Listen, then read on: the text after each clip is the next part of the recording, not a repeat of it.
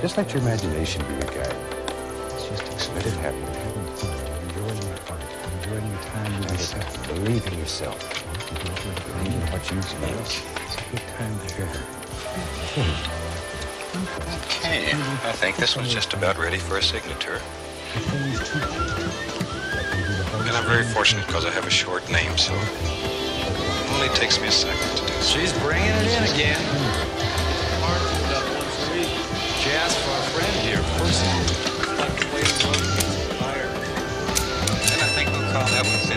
Mess with it anymore, we're going to start fiddling it to death.